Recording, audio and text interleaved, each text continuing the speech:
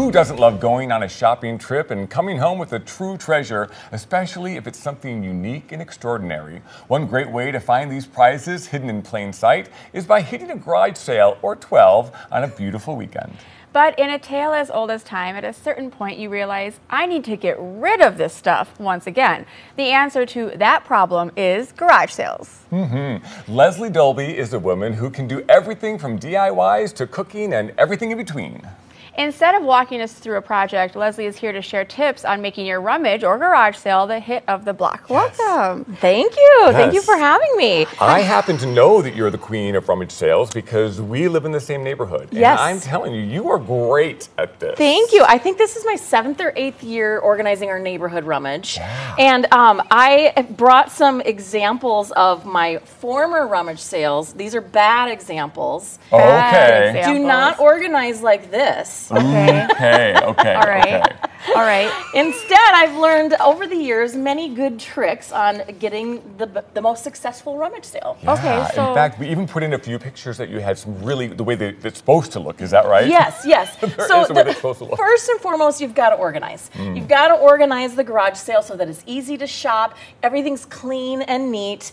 And what a good thing to do is instead of pricing each item, mm-hmm. just put all of the, the the similar items together. Like, okay, I've got all the kids' toys here. And then simply put up a sign that says Barbies. Barbies, $3 each. Yep. Instead of pricing each individual Barbie. Smart. That's a pro tip. That is a good tip. Because who has time for that, right? Right, right. exactly. Another thing you can do is organize things into bundles. So instead of saying, oh, 10 cents for every little toy here, mm-hmm. we're going to do $3 on this assorted bundle, and it just makes it easier and you get a higher dollar value doing it that way as well. Yeah. That's a good idea too. Mm-hmm. Yeah, and then as far as taking pictures of your items to to make sure that you can grab the most attention online, mm-hmm. this is my number one tip do close up photos. Oh. So if you see here, I have uh, clothing that is in focus and then some in the back. Uh-huh. And you see how close up that is? This is a more eye catching visual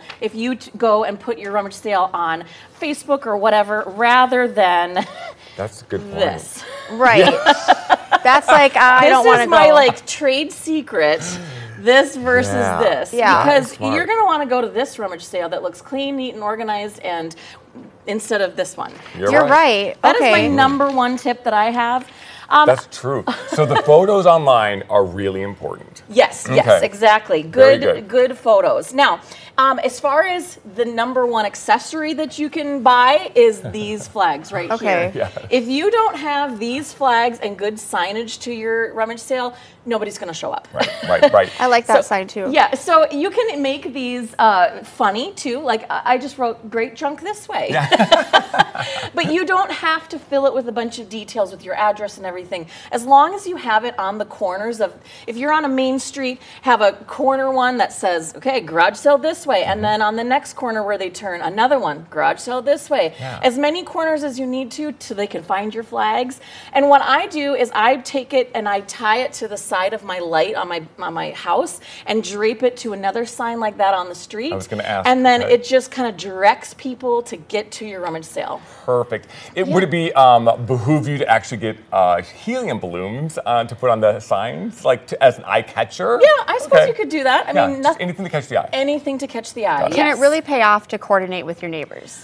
100%. percent So there's two things that you can do. So um, one, if you have a neighborhood rummage sale, definitely participate during that time because you have other people coming and so the traffic is just going to be more. Secondly, if you don't have a neighborhood rummage, you can do multi-family rummages. So get a couple of friends together and then you have a large variety of items. So maybe one family has boy clothes to sell, one family has girl clothes. And when you make your listing online to advertise it, multi-family rummage, so they know there's a lot of variety there that they can choose from. And then you kind of share the um, actual jobs to share mm-hmm. the burden. Yes. Right. Exactly. Yes. I think a lot of work. this payment accepted thing is a good idea because I don't know that I've even like I would have just been like cash. Yeah. I know. I, I like to have good signage Mm-hmm. and I like to do a sign like this one over here where it's kind of your liability sign. Oh, yeah. Safety and liability is always an issue. Make sure you just kind of put that up of where your cash register area is. Yep. No price tag, make an offer. I like you it. don't have to price every single item.